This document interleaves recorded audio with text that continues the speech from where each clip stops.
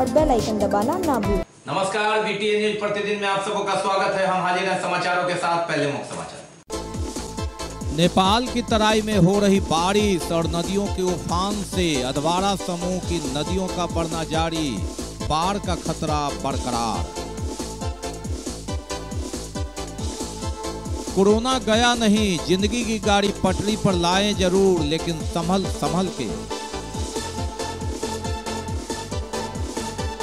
और जल जीवन हरियाली की समीक्षा की उप विकास आयुक्त ने कहा, करे लक्ष्य को पूरा, जल जीवन हरियाली कर्म भी, धर्म भी, कर्तव्य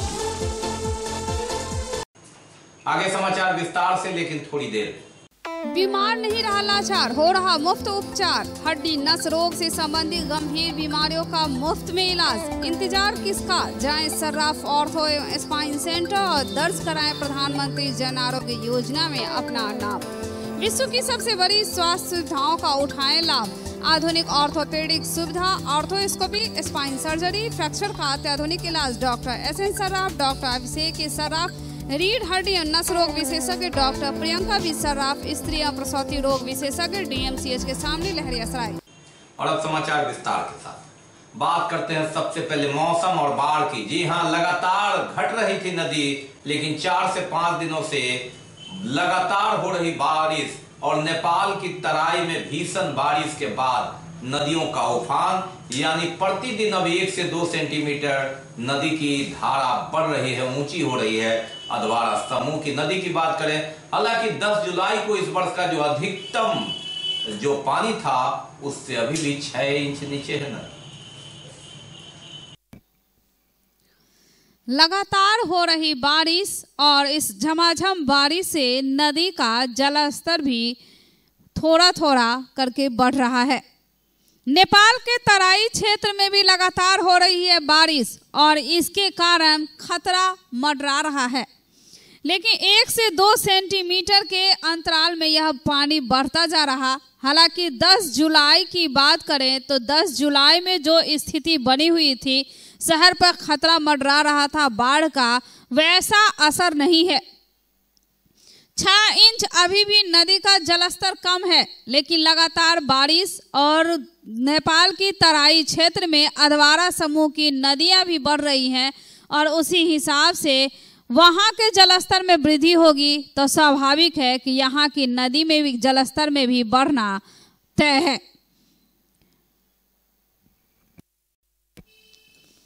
झंझारपुर की यह तस्वीरें हैं अधवारा समूह की नदियाँ। देखिए कैसे पुल को छूता हुआ हल्का हल्का इसके बढ़ पानी के बढ़ने का जलस्तर के बढ़ने की यह तस्वीरें हैं।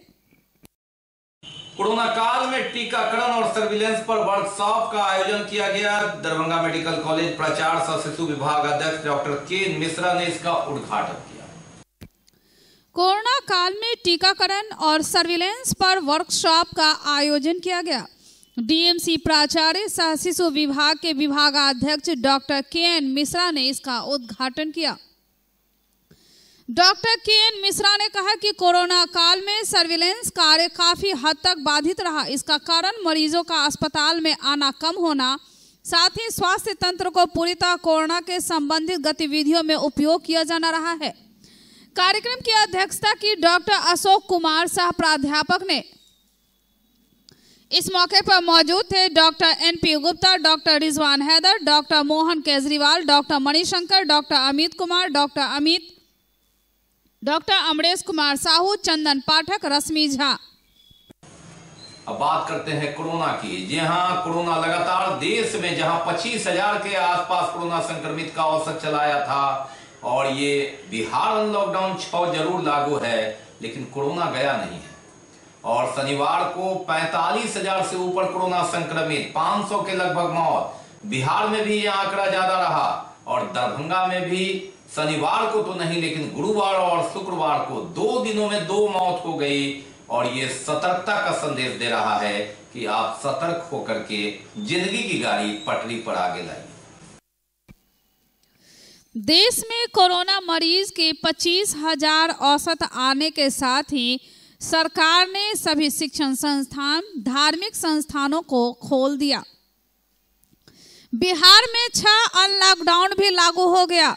और इसके साथ ही थोड़ी बहुत खुशियाँ भी लौट आई कि पर्व त्यौहार अब खुशी के साथ, पाबंदी के साथ नहीं, अच्छे से मनाया जाएगा। लेकिन इसके साथ ही कोरोना की बढ़ती संख्या भी लगातार बढ़ ही रही है। पैतालीस हज़ार जहाँ देश में इसका केस है 500 तक मौतें भी हो गई हैं। हालाँकि दरभंगा की बात करें तो रविवार, शनिवार को तो नहीं, लेकिन गुरुवार और शुक्रवार को मिला दें तो दो मौतें हो चुकी है कोरोना से। यानी सतर्कता ज़रूरी है। इसके साथ ही शिक्षण संस्थान, धार्मिक संस्थानों को खोला गया। तो हमारी यह खुशियाँ भी लौट आई, लेकिन इसके साथ सतर्क रहना, जागरूक रहना बेहद ज़रूरी है। और बात कोरोना वैक्सीन की, जी हाँ लगातार शुक्रवार को जहाँ देश ने एक रिकॉर्ड कायम किया, एक दिन में एक करोड़ लोगों का वैक्सीनेशन, दरभंगा भी पीछे नहीं, लेकिन बहुत संभल के सतर्कता सबसे बड़ी सुरक्षा, क्योंकि कोरोना यही मौका देखता है। भीड़ जुटाएँ, लेकिन अपनी सुरक्षा ज़रूर रखें सोशल डिस्टेंस बनाएँ, मास्क लगाएँ, क्योंकि आप कोरोना का वैक्सीन ही लेने जा रहे हैं। और उप विकास आयुक्त तनय सुल्तानिया ने जल जीवन हरियाली पर समीक्षात्मक बैठक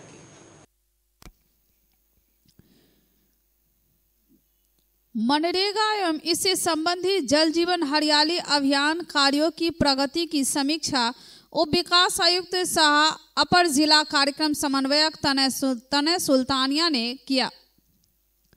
समीक्षा के क्रम में जल जीवन हरियाली अभियान पोर्टल एवं मास की प्रगति प्रतिवेदन के मध्य अंतराल को अभियान चलाकर समाप्त करने का निर्देश दिया गया। बैठक में उप विकास आयुक्त द्वारा मनरेगा में कार्य करने वाले मजदूरों को ससमय मजदूरी भुगतान करने, दैनिक रोज़गार सृजन योजना बिंदुओं पर भी आवश्यक निर्देश दिया। समीक्षा के क्रम में अनुपस्थित पाए गए पंचायत रोज़गार सेवकों के विरुद्ध कार्रवाई सुनिश्चित करने के लिए जिला कार्यक्रम पदाधिकारी मनरेगा को निर्देशित किया गया। विकसित भारत के निर्माण में जातिवार जनगणना के निवारता विषय पर श्री कृष्ण चेतना मंच की ओर से 30 अगस्त को विचार गोष्ठी का आयोजन किया गया। इसकी कार्यक्रम की रूपरेखा तैयार की जा रही है। विकसित भारत के निर्माण में जातिवाद, जनगणना की अनिवार्यता विषय पर श्री कृष्ण चेतना मंच की ओर से 30 अगस्त को विचार गोष्ठी का आयोजन किया जाएगा। कार्यक्रम की तैयारी और रूपरेखा को लेकर प्रेस कॉन्फ्रेंस का आयोजन किया गया। मंच द्वारा आयोजित जो आठवां हमारा समारोह है, वार्षिक समारोह है, उसमें जातिवार जनगणना की अनिवार्यता, उसकी प्रासंगिकता, उस उस संदर्भ में हमने राष्ट्रीय स्तर के विद्वानों को आमंत्रित किया है कि इस पर विचार विमर्श हो। यदि जातिवार जनगणना होना चाहिए तो क्यों होना चाहिए? और यदि नहीं तो क्यों नहीं होना चाहिए? इन बातों पर हमने विद्वानों को आमंत्रित किया है और इसमें मेडिकल के एडिटोरियम में सभागार में इस पर गहन विमर्श होगा। तीस तारीख को श्री कृष्ण चेतना मंच मेडिकल के लेक्चर थिएटर में विकसित भारत हेतु जाति जनगणना की अनिवार्यता पर एक कार्यक्रम है, जिसमें कई सारे विद्वान आएँगे और जाति जनगणना पर व्याख्यान देंगे। उसमें डिस्कस होगा और जाति जनगणना की जहाँ तक कि अभी हमसे पहले हमारे सचिव महोदय बता रहे थे आपका क्वेश्चन आया था आपकी तरफ़ से। तो मैं बता मैं बता दूँ कि आपको आ, आ, जो भी बजट बनता है बजट बनता है वो पिछड़ी समाज के लिए या लोग इसके लिए खास करके जो वंचित समाज के लिए तो उसके लिए जो बजट बनता है तो हमारे बिहार में खास करके जितनी गरीबी है तो उससे हम लोग हम लोग को जो हक मिलना चाहिए यानी बिहार को जो हक मिलना चाहिए वो नहीं मिल पाता है। तो स्वतः जब बजट बनेगा इस यहाँ के जो समाज वंचित समाज है पैसे आएँगे तभी उसकी विकास हो पाएगी। बाकी है अभी और भी बहुत कुछ लेकिन पहले रुकेंगे लेंगे एक break global health care and diabetes research centre जो बिहार में पहला अंतर्राष्ट्रीय तकनीक एवं आधुनिक सुविधाओं से लैस सुपर स्पेशलिटी डायबिटीज़ केंद्र है जहाँ एक छत के नीचे डायबिटीज़ से संबंधित सारी सुविधाएँ मौजूद हैं, जैसे कि diabetes heart care diabetes eye care diabetes neuro care diabetes foot care diabetes pharmacy और डायबिटीज़ प्रयोगशाला। पता जीसस एंड मैरी स्कूल के पास रहमगंज दरभंगा ब्रेक के बाद एक बार पुनः आप सबका स्वागत है। हम बढ़ते हैं आगे, लेकिन आगे बढ़ने से पहले एक नज़र मुख्य समाचार। नेपाल की तराई में हो रही बारिश और नदियों के उफान से अधवारा समूह की नदियों का बढ़ना जारी। बाढ़ का खतरा बरकरार। कोरोना गया नहीं, ज़िंदगी की गाड़ी पटरी पर लाएँ ज़रूर, लेकिन संभल संभल के। और जल जीवन हरियाली की समीक्षा की उप विकास आयुक्त ने कहा करे लक्ष्य को पूरा जल जीवन हरियाली कर्म भी धर्म भी कर्तव्य भी। हम बढ़ते हैं आगे लेकिन पैसे कुछ है। प्रधानमंत्री आवास योजना को लेकर उप विकास आयुक्त तनय सुल्तानिया की अध्यक्षता में बैठक का आयोजन किया गया। प्रखंडवार सभी आवास योजना अधिकारी एवं कर्मचारी के साथ बैठक की गई। प्रधानमंत्री आवास योजना के सभी पहलुओं एवं महत्वपूर्ण बिंदुओं पर चर्चा करते हुए रोस्टर बनाकर लंबित राशि के भुगतान एवं आवास का निर्माण को लेकर विचार विमर्श किया गया, जिसमें दो प्रखंड के साथ सदर प्रखंड एवं हायाघाट प्रखंड का बैठक कर आगे की कार्य योजना का निर्णय लिया गया। वहीं उप विकास आयुक्त तने सुल्तानिया ने कहा कि सभी 18 प्रखंडों में लंबित आवास योजनाओं के बारे में रोस्टर बनाकर राशि का भुगतान एवं आवास का निर्माण कराया जाना तय किया गया है। बाढ़ के बाद अब पानी की निकासी शुरू हो चुका है। इसके बाद सभी प्रखंडों में लंबित राशि का भुगतान कर सभी आवास का निर्माण पूर्ण कराने का आदेश निर्गत किया गया है। प्रधानमंत्री आवास योजना को लेकर प्रखंडवार सभी ब्लॉक सुपरवाइजर अकाउंटेंट एग्जीक्यूटिव और ग्रामीण आवास सहायक के साथ रोस्टर बनाकर ब्लॉक वार बैठक की जा रही है। अभी तक कुल चार ब्लॉक की समीक्षा है। आज हाया घाट और सदर की गई। इसी तरह से आगे रोस्टर अगले हफ़्ते में सभी 18 ब्लॉक की समीक्षा की जाएगी। पूर्णतः आवास में जितने आवास लंबित बच गए उनको कंप्लीशन को लेकर, किश्त भुगतान को लेकर, इन सबको प्राथमिकता करते हुए अब कई प्रखंड में बाढ़ की समस्या खत्म हो रही है वाटर रिसीड कर रहा है। तो अब पूरी तरह से कैम्प मोड में काम करते हुए, हर हाल में अगले दो माह में सभी जो लंबित आवास हैं, उनको शत प्रतिशत पूर्ण कर दिया जाए। इसी पे सभी आवास सहायक और सभी टीम के साथ डिटेल में समीक्षा। सिंहवाड़ा के माधोपुर बसवाड़ा पंचायत के निवासी कलीमुल्ला खान की पुत्री आरज़ू खानम ने एमए उर्दू में टॉपर बन नाम रोशन किया है। अपने गाँव का परिवार का पूर्व मुखिया अमजद अब्बास ने उसे सम्मानित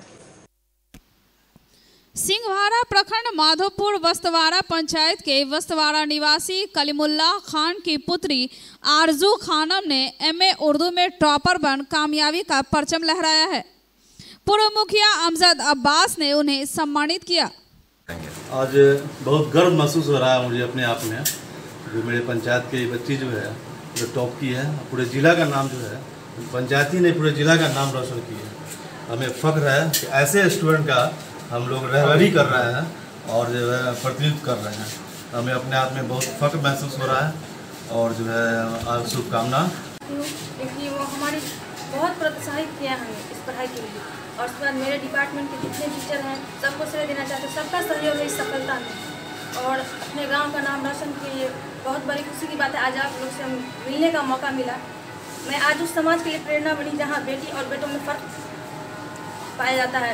बेटियाँ भी कुछ कर सकती है। एक बेटा ही डॉक्टर इंजीनियर नहीं बन सकता एक बेटी भी बन सकती है और बेटी भी नाम रोशन कर सकती है। जिस तरह आज मैं समाज के लिए प्रेरणा बनी मिथिला विश्वविद्यालय पीजी हिंदी के शिक्षक विजय कुमार के तबादले से नाखुश छात्रों ने मिथिला स्टूडेंट्स यूनियन के समर्थन में से प्रदर्शन किया। मिथिला विश्वविद्यालय पीजी हिंदी के शिक्षक विजय कुमार के तबादले से नाखुश छात्रों ने मिथिला स्टूडेंट यूनियन के बैनर तले प्रदर्शन किया।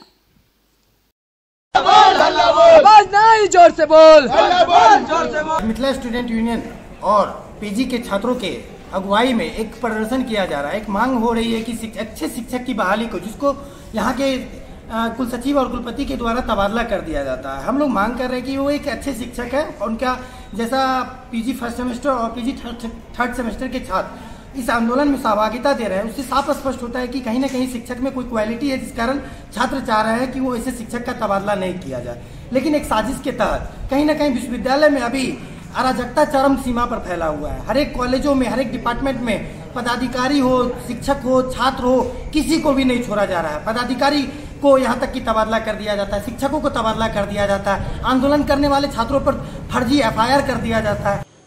बिहार राज्य प्राथमिक शिक्षक संघ गोप गुट ने तेईस सूत्री मांगों के समर्थन में धरना दिया। बिहार राज्य प्राथमिक शिक्षक संघ गोप गुट ने तेईस सूत्री मांगों के समर्थन में धरना दिया।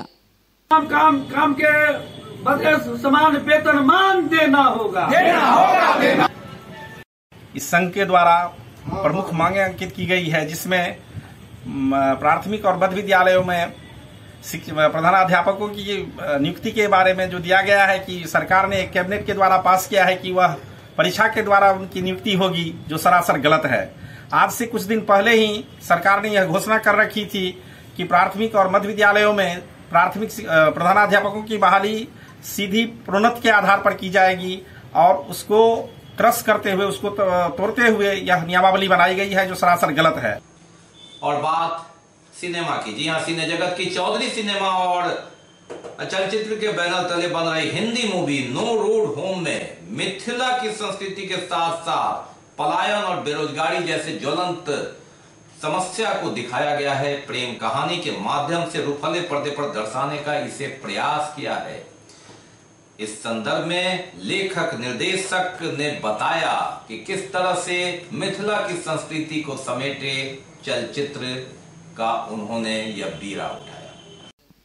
चौधरी सिनेमा और चलचित्र के बैनर तले बन रही Hindi movie no road home में मिथिला की संस्कृति के साथ साथ पलायन और बेरोजगारी जैसे ज्वलंत समस्या को प्रेम कहानी के माध्यम से रुपहले पर्दे पर दर्शाने का प्रयास किया गया है। प्रेस कॉन्फ्रेंस में फ़िल्म के लेखक निर्देशक पार्थ सौरभ ने बताया। फ़िल्म अभी हमने दरभंगा में बनाई है और ये अभी फ्यूचर में मतलब हम लोग रिलीज़ करने की कोशिश करेंगे दरभंगा में। तो उसके लिए कि यहाँ के दर्शकों तक पहुँच जाए बात ये फ़िल्म बनी है किस तरह? थीम फैमिली फ़िल्म की पलायन के हमने और यहाँ से कभी कपल्स भागते हैं। और फिर यहाँ के सोसाइटी में वापस एडजस्ट करने में उनको दिक्कत होती है तो उसके बारे में। और साथ में बेरोजगारी के बारे में भी है जो लॉकडाउन के कारण शुरू शुरू हुआ है। बट लॉकडाउन से जो बढ़ा है बेरोजगारी और जो माइग्रेंट्स वापस आए हैं और यहाँ पर आके वापस स्ट्रगल कर रहे हैं तो वो भी एक मेजर थी है। मेन कोरोना काल में जो जी। जो तो कहानी पिछले मतलब 2020 जुलाई में सेट है जब एक बार ट्रेन वेन खुल चुकी हैं और लोग वापस आने शुरू हो चुके हैं उस उस अराउंड फ़िल्म की शूटिंग अधिकतर तो सीपीआई का जो ऑफ़िस है उधर हुई है। और उसके अलावा हमने कटलवाड़ी फ्लाईओवर पे शूट किया है राई में शूट किया है गंगा क्लब पर शूट किया है नरगुना के अंदर भी शूट किया है। तो मेजर यही लोकेशन है तो ये थे अब तक के समाचार लेकिन विदा लेने से पहले एक नज़र मुख्य समाचार।